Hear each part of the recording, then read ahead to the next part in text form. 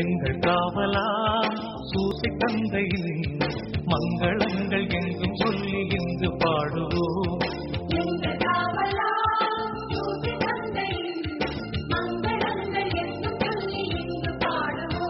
என் அன்பு இரையாட்சி உறவுகளை நள்ளிரவு வணக்க நல்லுரையில் இணைந்திருக்கும் ஒவ்வொருவருக்கும் இனிய நல் வாழ்த்துகள் எல்லாரும் நலமாக இருக்கிறீங்களா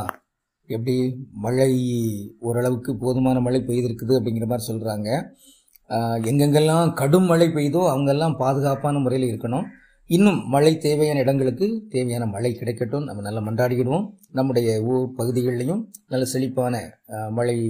வரம் கிடைக்கட்டும் இன்றைக்கு கொன்றை வேந்தனில் நம்ம எடுத்திருக்கிற அந்த தலைப்பு ஐம்பத்தி எட்டு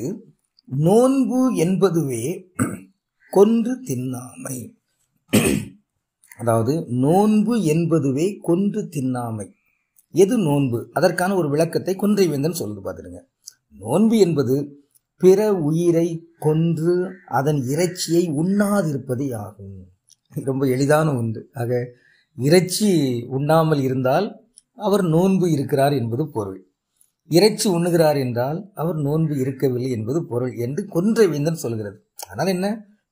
குரல் நெறியும் சொல்கிறது மாதிரி புலால் மறுப்பு புலால் உணவை மறுக்க வேண்டும் என்பதுதான் குரலில் பயங்கரமான ஒரு அதிகாரமே இருக்குது பத்து குரல்களை கொண்ட ஒரு அதிகாரம் புலால் மருத்தில் அதில் ஒன்று முதல் குரலை இப்படி வருது பார்த்துடுங்க இருநூற்றி ஐம்பத்தி ஒன்று தன்னூன் பெருக்கற்கு தான் பிரிதூன் உண்பான் எங்கனும் ஆளும் அருள் அப்படின்னு கேட்குறாரு அதாவது எப்படிப்பா அங்கே அருள் இருக்க முடியும் அதாவது தன்னுடைய அந்த சதை உடம்பு அதை வளர்க்கணுங்கிறதுக்காக இன்னொரு உயிரை வந்து கொன்று அதை சாப்பிட்றது இருக்குது அப்படி இருக்கிற இடத்துல எப்படி அருள் இருக்க முடியும் அதனால் நமக்கு வேடிக்கை அசனங்கள் கோயில் கடவுள் அது தொடர்பாகலாம் இந்த மாதிரி இறைச்சி உணவு நடத்துவது என்பது அது இன்றைக்கு நம்ம மறு ஆய்வு செய்ய வேண்டிய ஒரு தேவை இருக்கிறது நன்று அது ஒரு செய்தி இரண்டாவது என்ன சொல்கிறாருன்னா கொல்லான் புலாலை மறுத்தானை கைகூப்பி எல்லா உயிரும் தொழும் பாருங்க எல்லா உயிர்களுக்கும் இயல்பான நல் உறவு மாந்தர்களோடு இருக்கணும் அப்படி இருப்பதற்கு கொல்லாமையும் வேண்டும் புலால் மறுத்தலும் வேண்டும் அப்படின்னு சொல்லி சொல்லப்பட்டிருக்கு அப்போ எசாயா காண்கிற அந்த கனவு அங்கே கன்றுக்குட்டி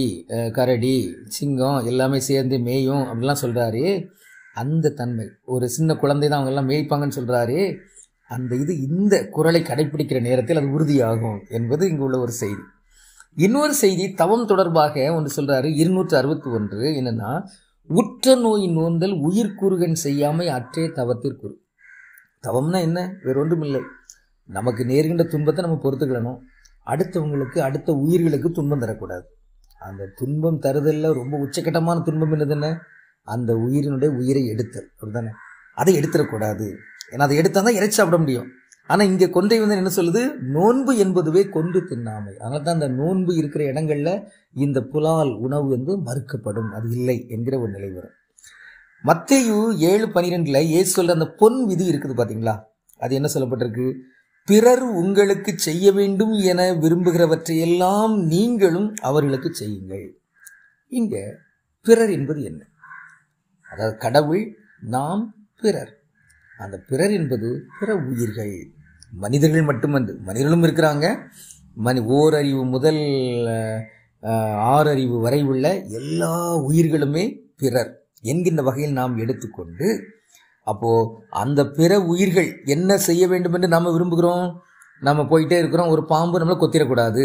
நம்ம போயிட்டே இருக்கிற ஒரு சிங்கம் ஓடி வந்து பாஞ்சிடக்கூடாது போயிட்டே இருக்கிறோம் ஒரு நாய் கடிச்சிடக்கூடாது ஒரு மாடு முட்டிடக்கூடாது இப்படிலாம் நினைக்கிறோமே அதே மாதிரி அந்த உயிர்களுக்கு என்ன இருக்கும் தானே போயிட்டே இருக்கும் இந்த மனிதர்கள் நம்மளை பிடிச்சி கொன்றக்கூடாது அப்படிப்பட்ட அந்த பொன் விதி பிறர் நல பிற உயிர்கள் நல அந்த நேயம் அது இருக்கணும் அப்படிங்கிறத இங்கு இயேசு சொல்வதாகவும் நாம் புரிந்து கொள்ளலாம் அந்த வகையில் நோன்பு செய்ய விரும்புகிறவர்கள் கொண்டு தின்னாமை என்பதை உறுதியாக இருக்க வேண்டும் என்பது செய்தியாக இருக்குது அப்படின்னா இதை உறுதியாக ஏற்றுக்கொண்டு இப்போ